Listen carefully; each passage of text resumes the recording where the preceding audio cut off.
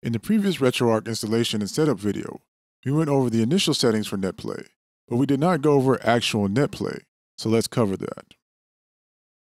One of the standout features of RetroArch is without a doubt the NetPlay, which features the amazing rollback technology based on the infamous GGPO netcode. Coming into version 1.5.0, NetPlay has changed a great deal. Now players can broadcast themselves from across multiple platforms and play their game of choice while waiting for someone to join. With that being said, there are a few things that must be set up to ensure that you have a successful connection. First and foremost, if you haven't watched the first video, I suggest you do so now as we will not be reviewing any of what we went over previously. Starting NetPlay is pretty simple.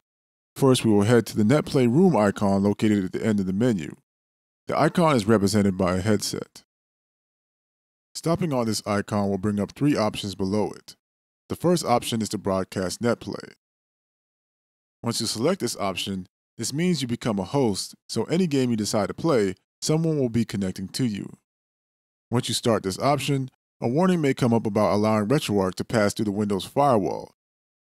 Be sure to say OK, otherwise no one will be able to connect to you. If you are in full screen mode, press the F key on your keyboard to go into Windows mode so that you can allow access for the connection to go through. Once this is done, choose your core and select the game. Once the game is loaded, you will see confirmation on the left-hand corner of your screen to let you know you are waiting for a connection. If you selected the Use Relay Server option located in Network Settings, you will most likely see Connecting to NIC. This is how you and another player may be able to bypass blocked ports. The next option is used for connecting directly to a host by way of an IP address. This is optional and is no longer required because of the next option. Last but not least, we have the Refresh Room List option. Here you'll be able to see players who are broadcasting their game of choice.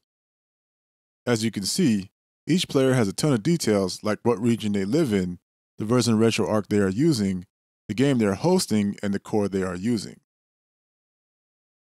There are two different choices you can have to help ensure a successful connection.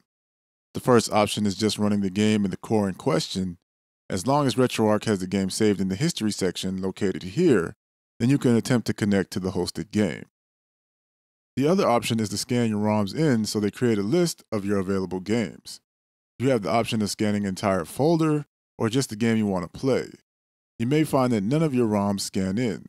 This is because the RetroArch scanner looks for good ROM dumps.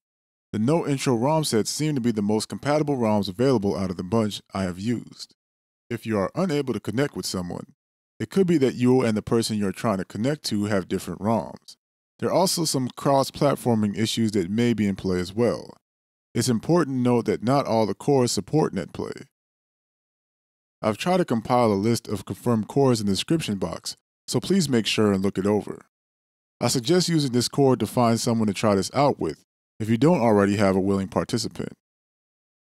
RetroArch is now completely integrated with Discord and shows your game and the core you are using and even lets you request to join up with someone as well. I will leave a link to the official RetroArch Discord in the description box as well. For now, this is the core, your resident entertainment techie, signing out.